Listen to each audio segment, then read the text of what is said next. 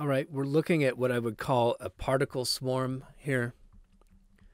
And this is a common thing to consider when you're doing um, the theorems of mechanics. So I have a particle swarm. It's just a bunch of arbitrary masses at arbitrary positions moving in arbitrary directions. And what we're going to do is go after a quantity called the center of mass velocity that turns out to be very useful. So just a quick reminder, the center of mass position of all of these particles is given by 1 over the total mass multiplied by the sum of every position multiplied by how much mass is there and this is a way of giving us a weighted average of the position of every particle. Now, it's commonly useful to turn this thing around and write it this way. The total mass times the center of mass position is given by the sum of all the masses multiplied by their individual positions. This just happens a lot when you're dabbling in the theorems of mechanics. So this thing is going to be useful later. And what I want to do is write down the total momentum of all of these particles. So I'm going to write P net. And that's just going to be m1 times its velocity plus m2 times its velocity. And so on and so on, all the way to the nth particle. So mn vn. But then I remember a velocity vector is really a time derivative of a position vector. And at this point, maybe you see where I'm going with this. Um, if my masses are constant, then that time derivative is not going to interfere with the masses, and I can move it inside of each of these terms. And so the first one is the time derivative of m1 r1 I won't bother writing the second term. I'm just going to follow the pattern all the way out to the time derivative of mn rn. But the derivative of a sum is the sum of the derivatives. In other words, I could just write this all as the time derivative of m1 r1 plus dot dot dot plus mn rn. And I recognize that from our little reminder at the beginning as the entire mass multiplied by the center of mass position. So entire mass times center of mass position. But provided the total mass is constant, that can come out in front of the derivative.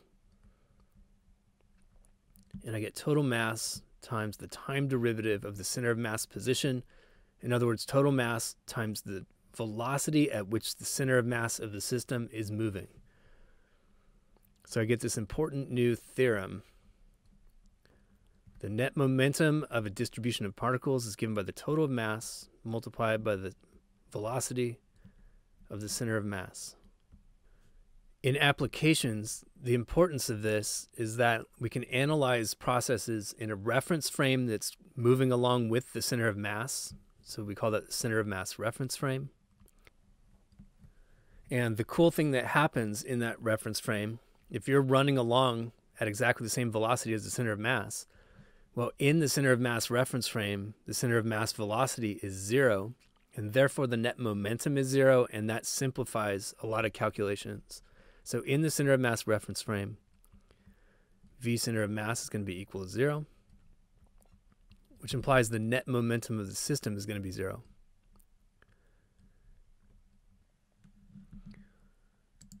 All right, let's see how to transform a collision problem into the center of mass reference frame. And all I'm going to do here is transform into that reference frame and then verify that this theorem is correct. That if we're in the center of mass reference frame, the net momentum must be zero. We'll get into a more serious complete example in another video.